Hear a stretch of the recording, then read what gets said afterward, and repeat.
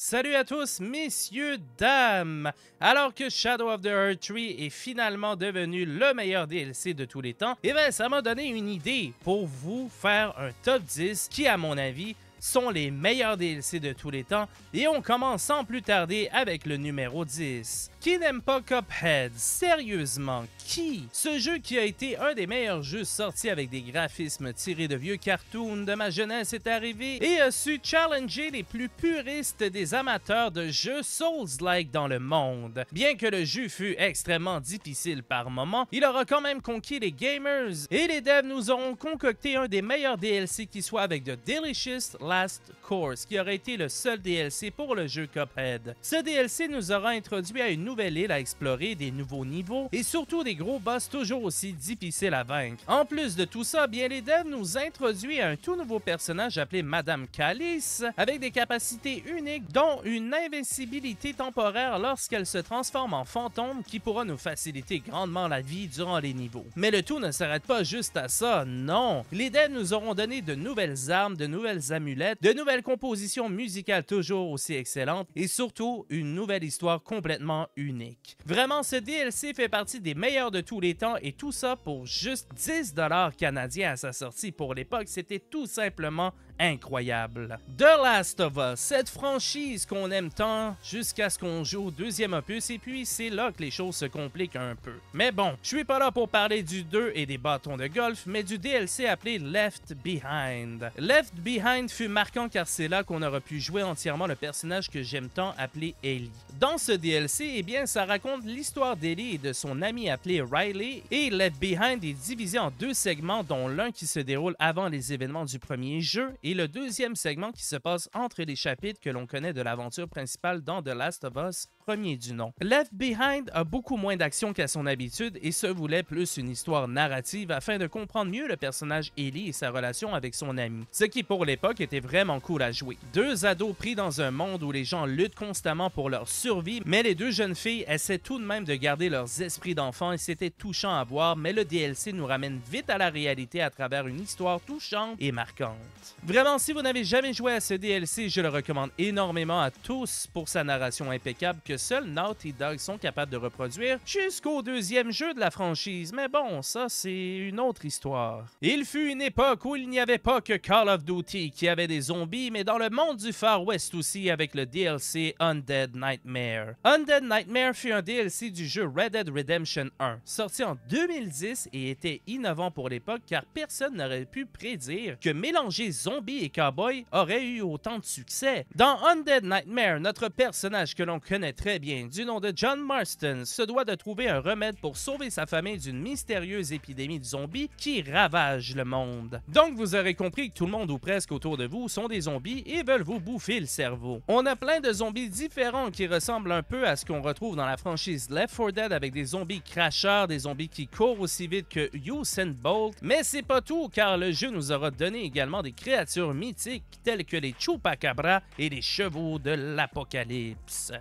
Undead Nightmare, on y trouve également de nouvelles armes et outils pour combattre les zombies, mais aussi différentes missions comme la chasse aux zombies, la défense des villes contre des ordres et toutes sortes de choses. Mais ce n'est pas tout. Vous pouviez également jouer avec vos amis en multi-coopératif et même en multi-compétitif contre d'autres joueurs. Donc ouais, c'était la bonne époque en 2010 et c'était un bon DLC pour Red Dead Redemption 1. Alors que Ubisoft était un excellent studio à l'époque et venait de sortir le meilleur jeu de la franchise Far Cry avec Far Cry 3, bien ils avaient également sorti un DLC du nom de Blood Dragon qui fut assez spécial et loufoque pour l'époque. Vous vous rappelez Far Cry 3 Non, vraiment, le meilleur jeu de la franchise avec le meilleur vilain, bien dites-vous que Blood Dragon était complètement unique en son genre avec son esthétique et son ambiance digne des années 80 et qui rendait également hommage aux jeux et aux films rétro du style cyberpunk.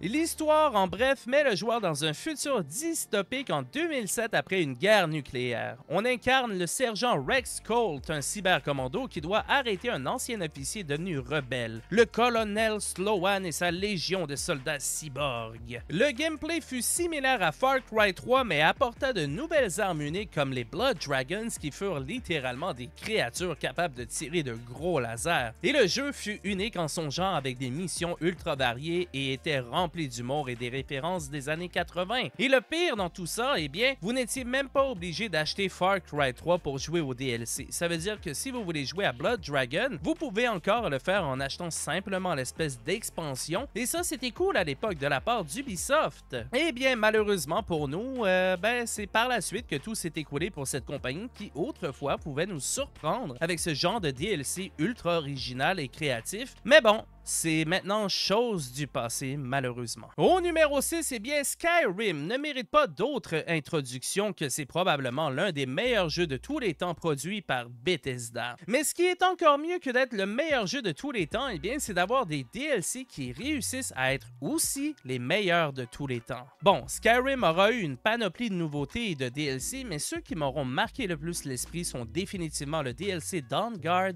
et Dragonborn. Avec Dragonborn, les joueurs découvre l'île de Solstem avec de toutes nouvelles zones à explorer, mais on pourra y rencontrer de nouveaux ennemis, mais aussi on pourra acquérir un tout nouveau pouvoir capable de dompter littéralement des dragons et les utiliser comme des montures volantes. En plus de tout ça, on aura de nouvelles armures dont l'armure de Skal, mais aussi des armes d'aédré complètement uniques. Mais ce DLC Dragonborn n'est rien comparé au premier DLC de Skyrim appelé Dawnguard. Dawnguard nous introduit à une toute nouvelle intrigue autour d'un entre deux factions, soit la garde de l'Aube et le clan Volkihar, qui est un groupe de vampires puissants. Ce DLC offre aux joueurs le choix de rejoindre une des deux factions et offre une série de quêtes et de lignes narratives complètement uniques. En plus d'avoir de nouvelles armes, armures et zones à explorer, bien la particularité de ce DLC est qu'il offre la possibilité aux joueurs de pouvoir se transformer en seigneur vampire à la Dracula ou Nosferatu pour les OG et de pouvoir se transformer en chauve-souris drainer la vie des ennemis et plus encore. Donc voilà, messieurs, dames, imaginez deux excellents DLC en plus du jeu de base lui-même en Skyrim. Et eh bien, ce n'est pas pour rien que ce jeu fut tant aimé par des millions de gamers dans le monde et qu'il l'est encore tout autant de nos jours. Un jour, messieurs, dames, nous aurons peut-être Bloodborne sur PC, mais pour l'instant, retournons dans le temps à l'époque où un des meilleurs DLC était sorti pour le jeu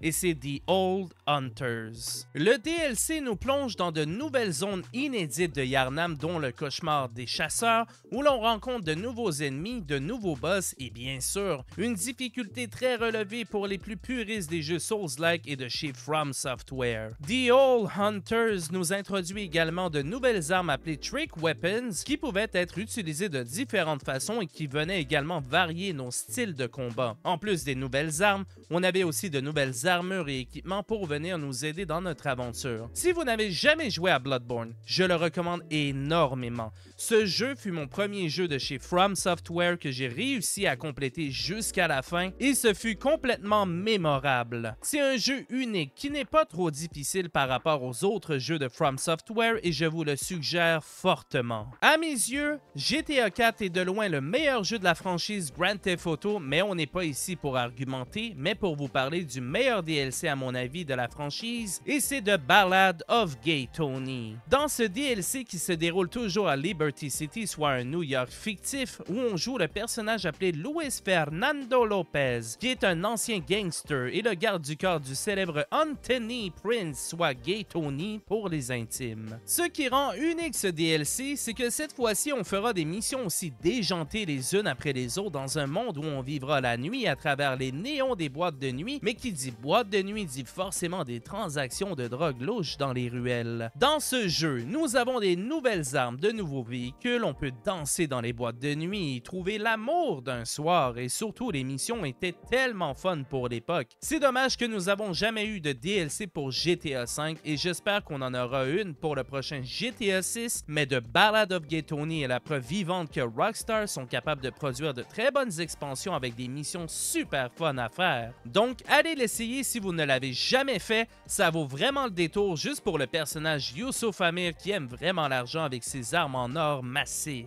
Bon, le numéro 3 ne plaira pas à ceux qui chialent pour sa difficulté, mais à mes yeux, si CD Projekt Red félicite Shadow of the Hurt Tree comme étant un des meilleurs DLC de tous les temps, alors qui êtes-vous pour dire que le DLC de From Software est si mauvais à cause de sa difficulté? La seule et unique expansion pour Elden Ring nous plonge dans un nouveau monde appelé Land of the Shadow, où la déesse Marika a posé le pied pour la première fois. Mais ce monde est terriblement difficile et rempli de nouveaux boss qui en fera rager plus d'un. Dans cette nouvelle expansion, on y retrouve plus de 70 nouvelles armes, 10 nouveaux boucliers, 39 nouveaux talismans ainsi que des nouveaux boss encore plus difficiles que ceux de Elden Ring. Shadow of the Hurt Tree est sorti récemment, mais déjà il fait polémique comme vous l'aurez compris par son niveau de difficulté. Mais le truc que je comprends pas, c'est que ceux qui auront terminé Elden Ring savent ce qu'était le jeu. Donc à mes yeux, les gens qui se plaignent que le jeu est trop dur à faire sont juste des gens qui ont rush pour jouer au DLC. Je suis désolé, c'est vrai. Et même encore, les devs de chez From Software savaient exactement ce qu'ils faisaient et auront mis des fragments de Scatter Tree qui permet à votre personnage d'être encore plus fort et de moins souffrir face à ce qui vous attend. Mais bref, malgré tout, les gens auront trouvé le moyen de chialer et de noter le jeu avec une mauvaise note. À mes yeux, ce DLC est l'un des meilleurs, surtout sur le marché avec les jeux qui sortent de nos jours avec plus de 40 heures de jeu et plus. Et surtout, une plus grande carte que le jeu Elden Ring lui-même. Vous voulez quoi de plus, messieurs, dames?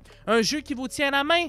eh bien vous êtes mal tombé avec From Software. Alors que la première fois que ce jeu est sorti, il avait été brisé dès le départ sur PS4, suscitant ainsi une grosse polémique et le retrait complet sur le PlayStation Store. Bien la rédemption pour les devs CD Projekt Red et Cyberpunk 2077 est arrivée à la sortie de leur expansion et seul DLC Phantom Liberty. J'attendais Cyberpunk 2077 avec grande impatience comme beaucoup de gens et j'ai été très déçu comme beaucoup de gens aussi. Je n'avais pas retouché à ce jeu depuis au moins 4 ans et quand j'ai vu que Phantom Liberty allait sortir et régler beaucoup de problèmes, je devais lui redonner sa chance et sincèrement, je n'ai pas été déçu du tout. Dans cette expansion, on incarne toujours notre personnage appelé V, mais cette fois-ci, l'histoire se tourne dans la région appelée Dogtown, qui est une ville complètement indépendante de Night City avec leurs propres règles. V se retrouve à devoir secourir la présidente des NUSA, mais quand il réussit à la rejoindre, eh bien, il se retrouve par la suite dans un complot complexe qui implique espionnage, faction rivale et trahison.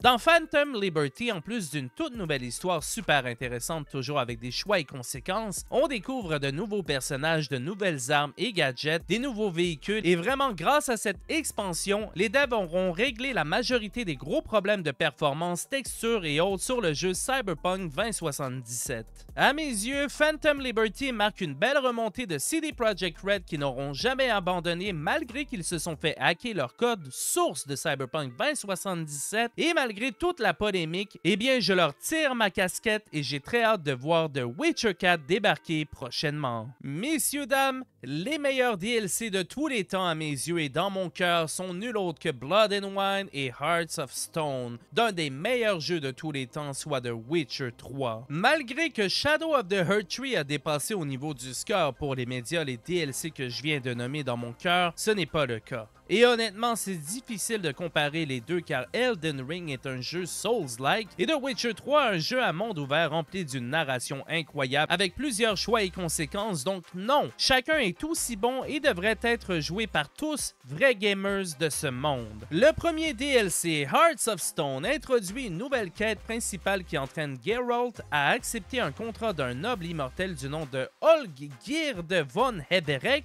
et affrontera de nouveaux ennemis et boss mais aura aussi de nouvelles zones à explorer et de nouvelles quêtes secondaires à faire. Mais le meilleur à mon avis des deux DLC est définitivement celui de Blood and Wine. Blood and Wine est la deuxième expansion du jeu de Witcher 3, mais cette fois-ci, le jeu nous transporte dans la région de Toussaint avec des façades colorées et des festivals joyeux, mais bien sûr, rien n'est jamais joyeux pour longtemps dans le monde de Geralt. Comme le premier DLC, nous aurons droit à de nouveaux ennemis ainsi que des boss, mais ce que j'ai aimé dans ce DLC, ce sont les graphismes qui furent grandement améliorés et surtout sa durée de vie qui fut incroyablement longue pour un DLC avec environ 40 heures de jeu à faire et pour l'époque, c'était assez incroyable que des devs fassent un truc du genre. En plus de toutes les nouveautés dans le DLC, bien les devs nous auront permis également d'acquérir notre propre vignoble et même faire pousser des vignes pour produire notre vin, rien de moins. À mes yeux, messieurs les deux DLC sont les meilleurs de tous les temps jusqu'à présent et je doute sincèrement que d'autres devs réussissent à vaincre mon top 2 qui sont les devs CD Projekt Red et qui sont tout simplement les maîtres en termes